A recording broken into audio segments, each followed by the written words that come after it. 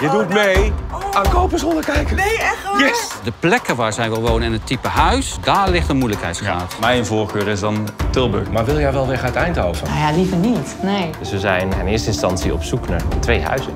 Joh. En dan is nu het moment gekomen